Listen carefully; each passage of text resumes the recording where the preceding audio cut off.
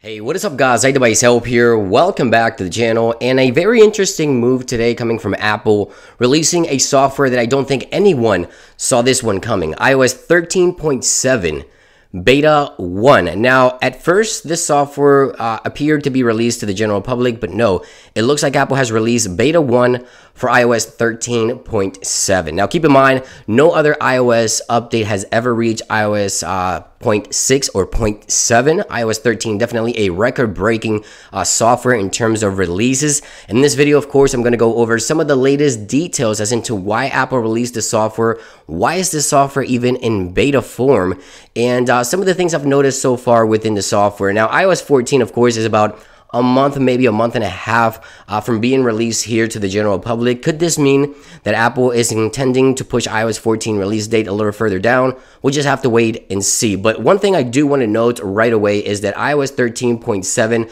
uh, the build number is an official build, if you will. As you see there, it's 17H33.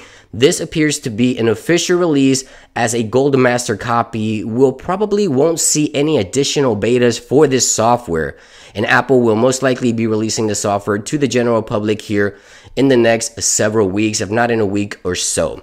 Now, what's new with the software? Well, in iOS 14 and previous versions of iOS 13, Apple uh, required for users to download a exposure notification application from your local government to opt in to the exposure notification system built into iOS. So, for example, in iOS 14 here running on this iPhone 11, if I go to the exposure notifications, the system is currently active. I'm using an application called COVID Wise, and this is the application right here. Now, this application is from my local authority or local government, and this activates or will opt me in in order to get used to the exposure notification or have use of the exposure notification system. That is how it is set as of right now. Well, iOS 13.7 now gives you the ability to opt in to exposure notifications without requiring you to download a third party application.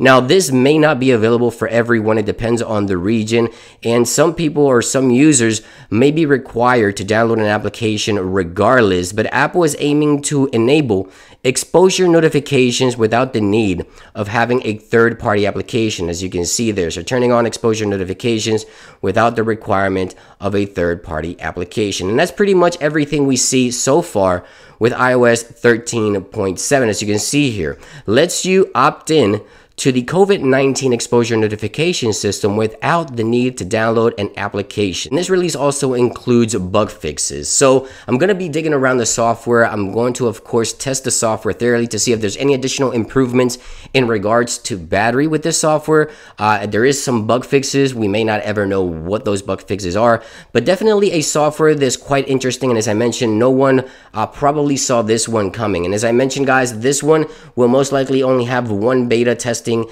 and then be released to the general public. So there it is in the developer portal as beta 1. So let me know what you think in the comments down below. Why do you think Apple releasing this one here other than the exposure notification system? Why release this now so close to iOS 14? Do you think Apple is going to be pushing back iOS 14 a little further, knowing that the iPhones will most likely be delayed this year? Let me know your thoughts in those comments down below. This was just a quick first look at 13.7 and beta 1, and I'll see you on the next one. Peace.